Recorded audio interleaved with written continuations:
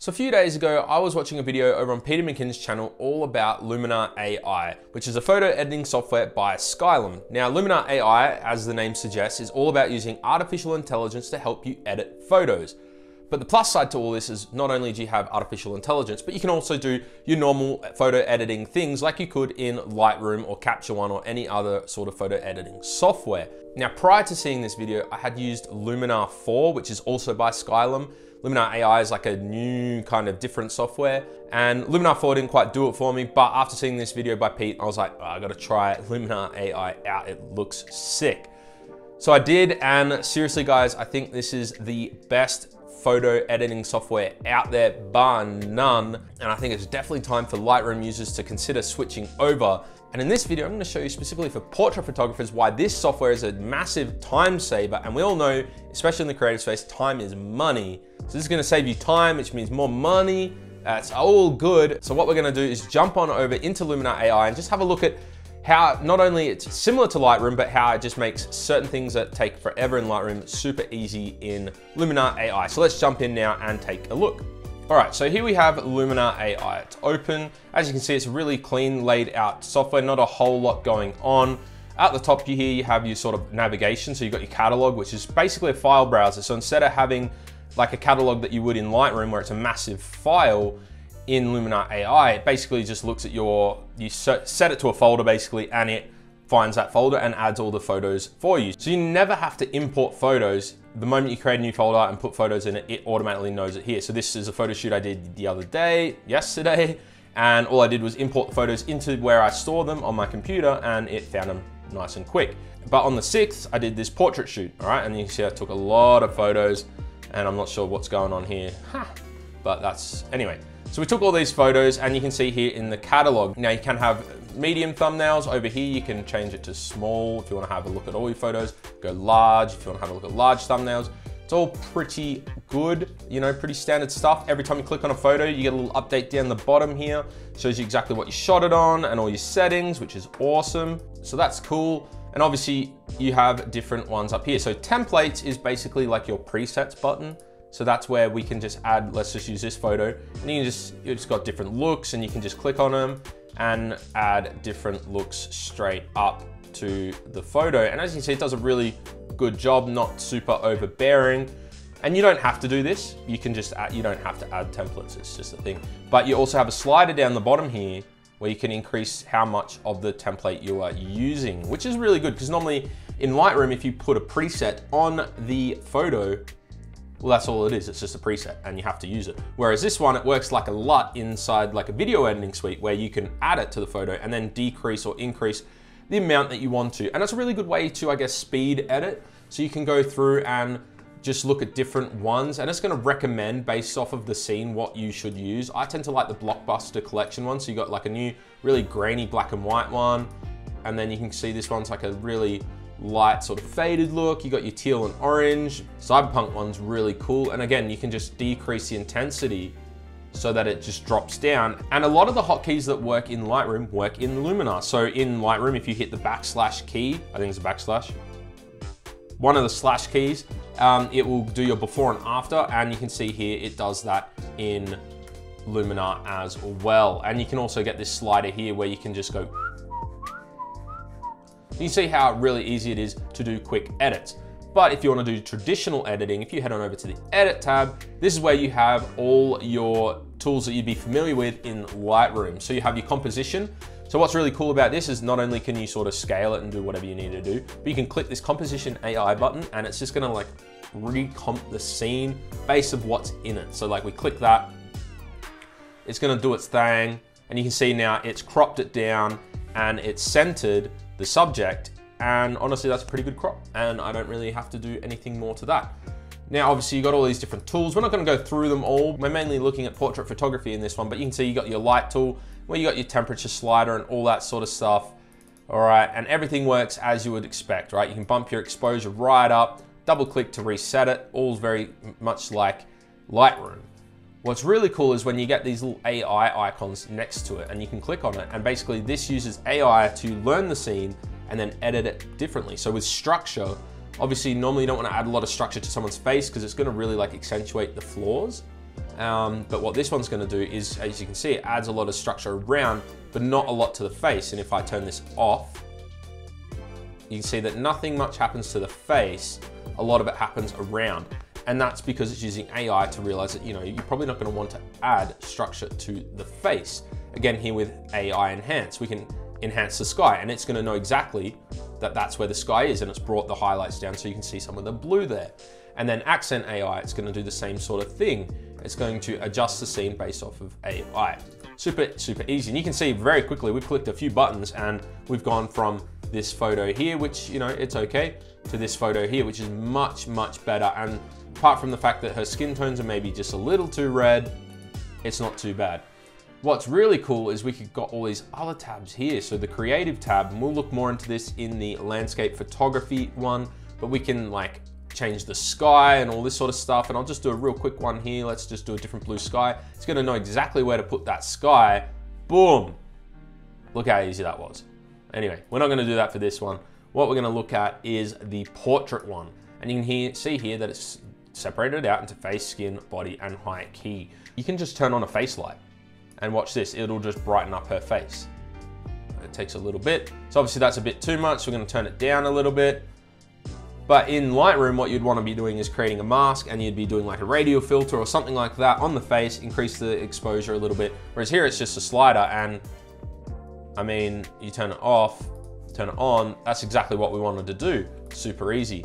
Eyes, this is where it gets pretty intense. You can change the color of the eyes. Now I wouldn't want to because my model Ivy, and I'll have her Instagram link below if you wanna check her out, has some great natural eyes. We could change them if we wanted to, so we could change them to cat, which is really weird. So if we zoomed in on the eyes there, let it do its thing. You can see we get these weird like slit eyes, which is kind of cool. Um, I'm probably not gonna go with that. We're just gonna go with original because the original color of our eyes are great. And you can see with the AI stuff, it tends to be a little bit slower on the computer. That's to be expected. It's using a lot of processing power but we can like do iris visibility. So it's going to basically brighten the iris up a little bit, make it easier to see we can do dark circle removal. So if you know the model just sort of slept in or whatever, you can bump that up, remove the dark circles. Now this is obviously gonna be a pretty intense sort of thing. We can do things like red eye removal if you still get red eye. We can whiten up the eye a little bit. That might be a bit too intense, but it's going to know exactly where the eyes are. It's going to whiten it for us. And now you got something that's not, let's not do that. We can do an iris flare. Like there's so much here we can do. You can see just here in the eye there, it's gonna add like a little shine to it, which is really nice highlight there. And if we turn this off, although you don't think we've done a lot, it's actually going to change a lot of what we did to that face. You can see it was quite dark before, turn that on, it's super, you know, easy to see. We all have all these other things here like skin, we can remove shine, we have a skin defects removal. Now, I'm not someone that would do this sort of stuff with portrait editing. I'm generally a more natural sort of photo editor, you know, let's leave the defects in, all that sort of stuff as natural as we can. But some of these things like eye whitening and all this sort of stuff, teeth whitening, that's a thing, like you can, you know, saturate the mouth, saturate the lips, whiten the teeth. Those are things that I would probably do, mainly the teeth whitening, the eye whitening. What's crazy about this is you can actually slim the face. So if we both sat to 100, you watch her face will just get a little bit slimmer.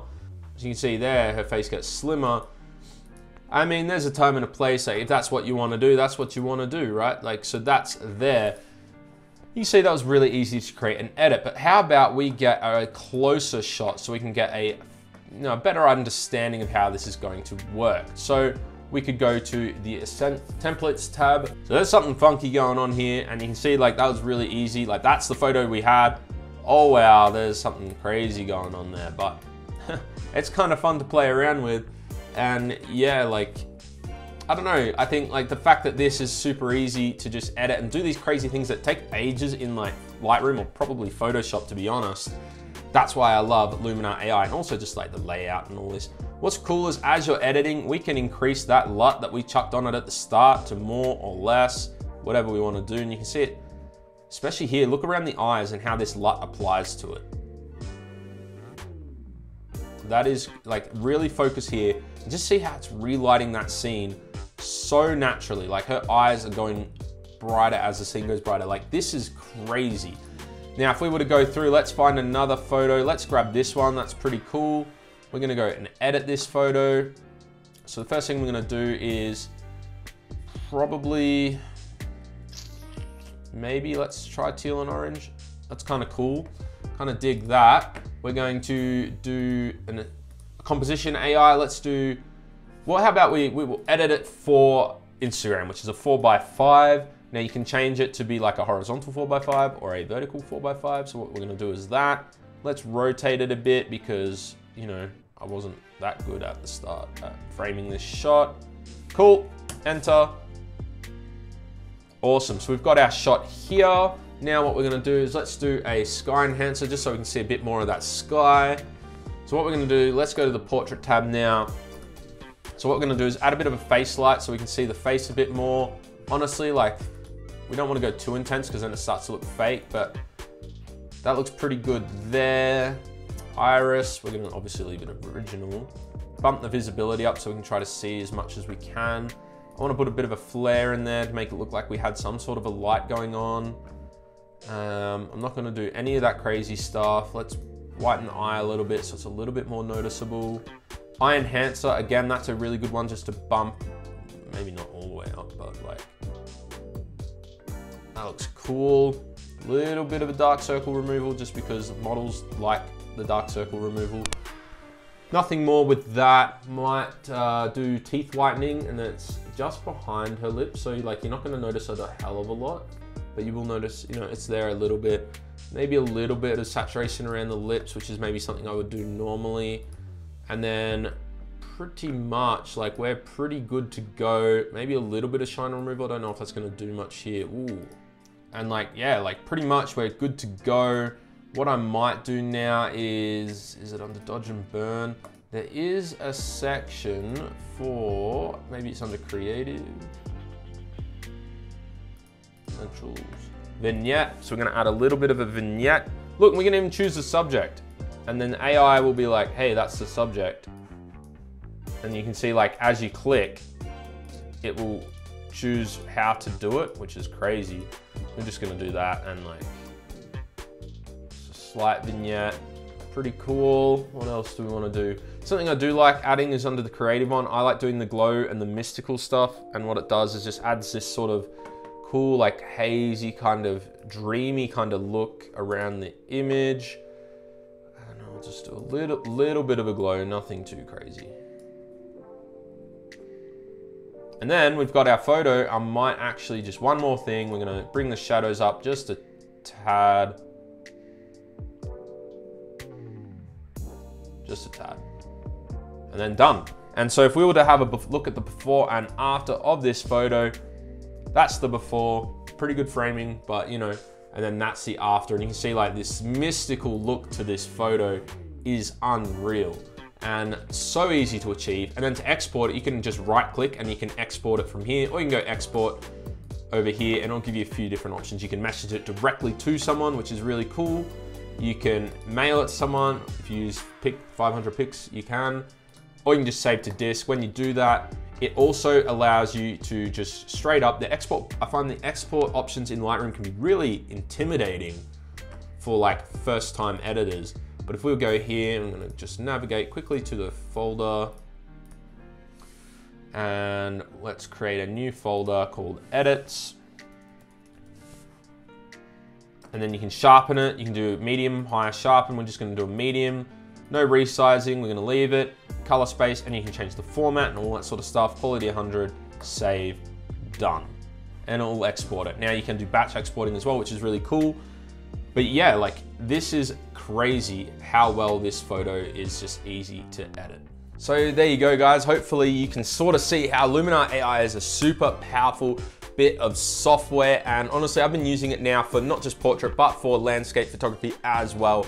And I just love it, honestly. Not just how easy it is to do really hard things that would take forever in Lightroom, but also just like the UI and the interface, it's nice and clean and easily laid out. And you know, sometimes you're in the mood to do a really long photo edit and then other times you just wanna be like, boop, done.